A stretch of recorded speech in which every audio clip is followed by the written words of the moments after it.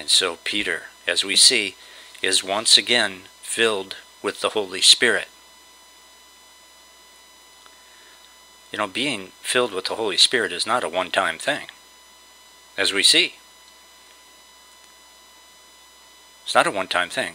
As soon as we slip and are influenced by our sin nature, we should repent and once again ask God to fill us with the Holy Spirit.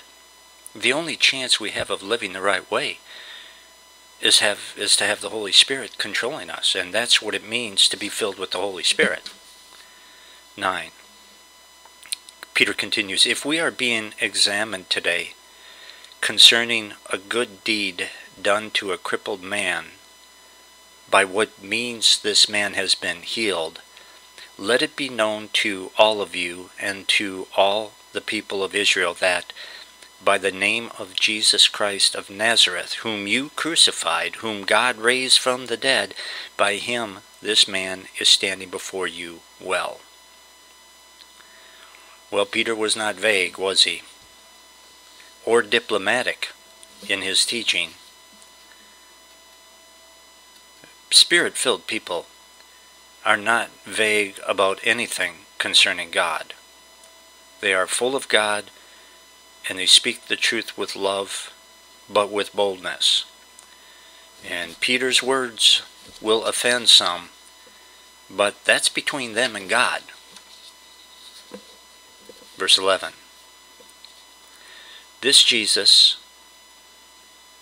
is the stone that was rejected by you, the builders, which has become the cornerstone. They had rejected Christ. The Jews had rejected their Messiah, but God raised him and put him in charge of the church. Jesus did not try to be accepted by the world, or the religious establishment for that matter. His big concern was to be accepted by the Father, and he was and one of the most pathetic sights is a Christian who says they believe the Bible, who says that they are an evangelical, but then tries to be cool in the eyes of the world. Cool or uncool isn't even the issue. Live for God, speak truth, be good, and let what happens happen. That's what Jesus did. 12. And there is salvation in no one else, for there is no other name under heaven given among men by which we must be saved. Jesus is the only way to heaven. That's not my truth. That's not my truth. That's not narrow minded, even. That is truth. And it is everyone's truth. Whether they choose to accept it or not doesn't change the fact. 13. Now, when they saw the boldness of Peter and John, and perceived that they were uneducated, common men, they were astonished, and they recognized that they had been with Jesus. Peter and John didn't have formal religious training. They were fishermen. But they sure spent a lot of time with Jesus, which is more important than formal religious training. Now, the world may not accept that for credentials, but it doesn't matter because God will use a person who spends time with Christ. 14. But seeing the man who was healed standing beside them, they had nothing to say in opposition. Evidence that there was power in the name of the resurrected Christ was standing right before them in the person of this healed man. They had truth. They just refused to accept truth. 15. But when they had commanded them to leave the council, they conferred with one another, saying, What shall we do with these men? For that a notable sign has been performed through them is evident to all the inhabitants of Jerusalem, and we cannot deny it. The Lord's enemies admit that in the name of Christ a great miracle has been done, and they don't know what to do as a result of that miracle. They don't know what to do. Isn't that something? Their sin loving, truth hating, stubborn hearts wouldn't let them do the simple, logical thing, which, be, which would be repent and confess that they had murdered God's Son. That's the simple and logical thing. But they're not going to do it. 17.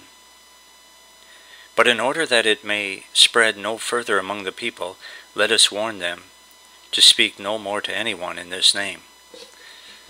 Well, they were not trying to protect the people from spiritual error, which is what they should have been doing. That was their job.